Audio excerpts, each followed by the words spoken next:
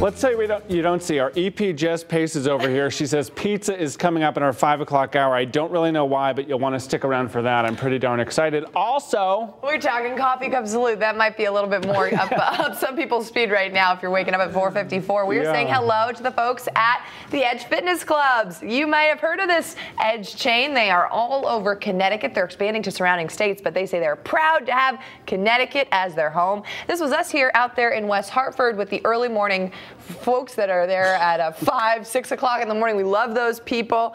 They taught us some nice, easy tricks on how to get fit for the new year. Margot didn't need help getting fit. I needed all the help I can get. They were great. They were super friendly. I wasn't intimidated. I'm still recovering. Uh, still a reminder, a, a reminder, send us your mugs. We'd love to see them. Share61 at fox61.com.